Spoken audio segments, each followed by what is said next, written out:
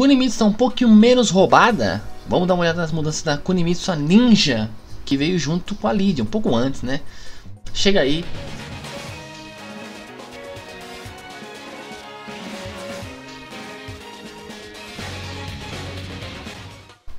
Salve galerinha, volta mais um vídeo, eu sou o Denner e hoje vamos falar das mudanças da Kunimitsu, mais conhecida como Kunimitsu 2, veio substituir a Kunimitsu antiga E são mudanças muito, muito boas, mas ainda assim vai ser um personagem duro de enfrentar Não tem tantas mudanças assim como os outros personagens, também tem poucas mudanças, mas são mudanças que ajudam bastante, ainda assim é, vamos ver aqui e aí eu comento o que, que eu acho do personagem que ele vai ser, né?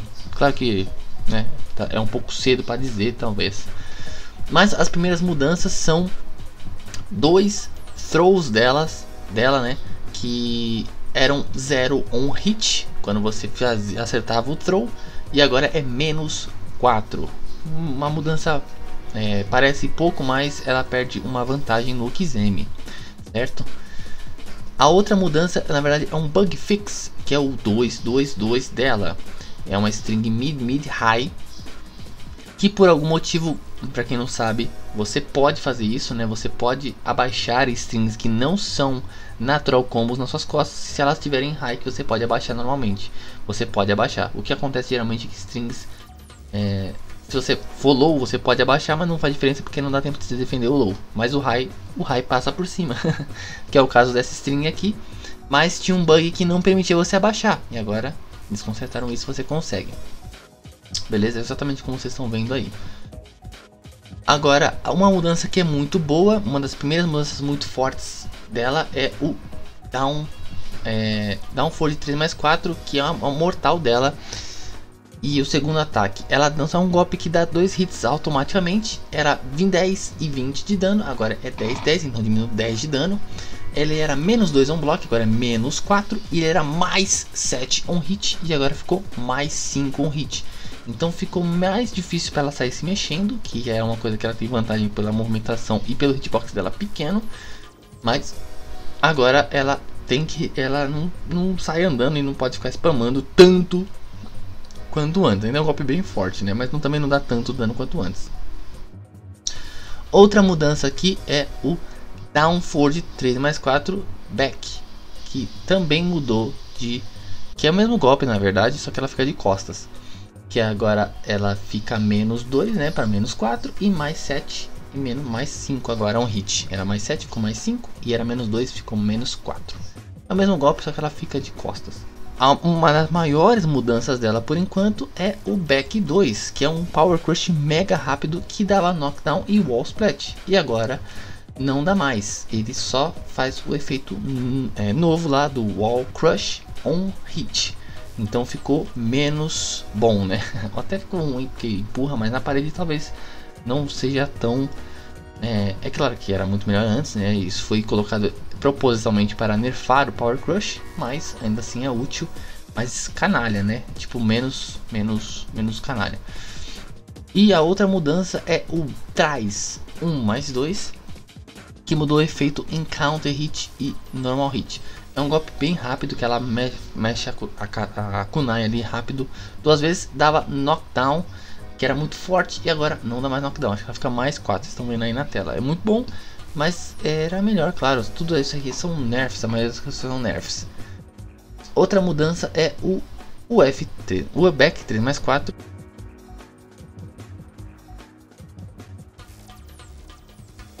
E o, o F4 na stance dela, né? Do F3 ali. Do dash que ela tem. Mudou o hitbox, ficou maior para ficar mais fácil é, do oponente acertá-la, né? Então ela foi um nerf do hitbox aumentou para ela tomar mais dano mais fácil, né? Tomar uma porrada mais fácil. Que era bem difícil de fazer, que ela tem esse golpe lá que é bem esquisito, né? A animação que ela dá uma mortal e tudo mais. Inclusive esse 3 mais 4 era é, é launch punch, mas ela ficava numa distância meio escrota e tal. Mas agora parece que ela fica bem colada também o hitbox ficou bem maior. Então dá pra punir mais fácil. Outra mudança que também eu achei maravilhosa, que é o Alice Standing 1-1, que era o punish, é o punish dela 13 frames, mas ela podia atacar a esmo porque era menos 8 on block e agora é menos 12, então dá pra punir aí Então ela toma punição. Vocês viram no vídeo de sexta-feira passada que eu encontrei e o cara ficou fazendo isso e eu puni maravilhosamente bem.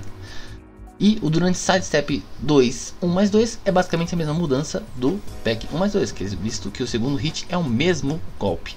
Então dava knockdown e não dá mais. Não é natural combo né, do, do Sidestep 2 1 mais 2, mas é, em counter hit é. E a última mudança é o back throw, o, é o grab que ela faz de costas para o oponente, 2 mais 3, que dava 45 de dano e agora dá 40, diminuiu 5 de dano aí da, da Kunimitsu. E essas foram as mudanças, vocês foram vendo aí uma a uma. É, não é umas mudanças radicais, mas diminuiu bastante das coisas que ela tinha de escrota. Mas ela ainda é um char bem forte, porque ela controla bastante o espaço com a sua kunai voadora, seu dash rápido pra caramba, né, com F3. E o seu hitbox muito pequeno que ajuda nessa movimentação, com backdash e sidestep. E fora que ela, às vezes ela escapa de combos simplesmente e golpes, né? Simplesmente porque ela está parada lá porque ela é minúscula, ela é menor que a Xiaoyu. Se não me engano, tenho quase certeza que é, o Kunimitsu é o menor char do jogo. Beleza? Então essas foram as mudanças, ela ainda é um char bem forte, eu acho. Ela é da, dos, das quatro DLCs aí que foram nerfadas. Eu acho que ela é a que saiu mais de boa. Mas é, é, isso. Vamos esperando aí como minha, minha chamada das lives agora é. Esperando o patch 5.2. Então talvez tenha alguma coisa aí. É, esse final de semana que passou foi o, os primeiros torneios no patch 5.0, torneio offline. Vamos ver. E semana que vem tem o grande TRT. O, o, o, não o TRT semanal, mas o Treta Championship, que é o torneio o maior torneio do Brasil aqui presencial. E se tudo der certo, né? Está tudo confirmado aí para mim, mas até lá não sei o que pode acontecer. É, eu vou estar lá, então espero vocês lá. E claro, como eu falei até hoje, vai ter vídeo. Se eu chegar lá, vai ter vídeo da minha viagem, mostrando, falando com o pessoal lá durante a viagem também, né? Com que eu vou com o Sam e com o Shiro. E quando eu estiver lá também, quem encontrar também vou tentar, vou jogar com o pessoal e gravando e tentar gravar um pouco da minha run no torneio. Espero que é, eu não tome 0-2 pelo menos, né? Vamos tentar pegar o top 8 lá. Da outra vez eu quase consegui, fiquei duas lutas para trás no top 8. Se eu ganhasse mais duas eu pegava, mas não deu.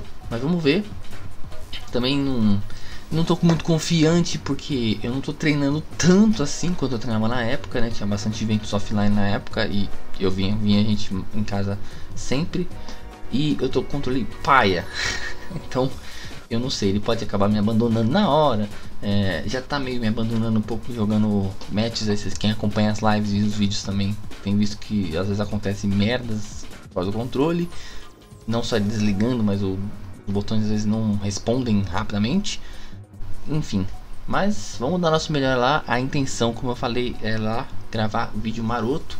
Não tomar um piau de cara também. E fazer um conteúdo maneiro aqui pra vocês. E conhecer o pessoal que tiver lá, né? E a maioria das pessoas já conheço, mas pode conhecer uma, pessoas novas. É, e é isso. Tamo junto. Valeu. Então espero é, que dê tudo certo. Amanhã tem um vídeo sobre é, amanhã é FT, eu acho. Eu acho que esse vídeo vai pra terça-feira. Então amanhã vai ter um FT, que ainda preciso narrar. E mas quinta dessa quinta não vai ter mais vídeo. Parou. Eu acho que não vai ter mais vídeo de quinta de novo, né? Não tem mais necessidade.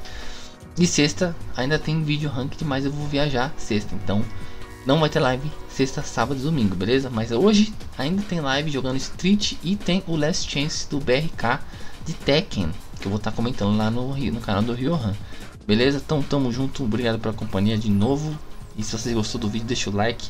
Se inscreva para fazer mais conteúdo de Tekken. Para não perder os próximos vídeos, inclusive o vídeo da, da viagem, marota. E a câmera do pau que voltou. Então é isso, tamo junto, até o próximo vídeo. Falou, House of the Dragons.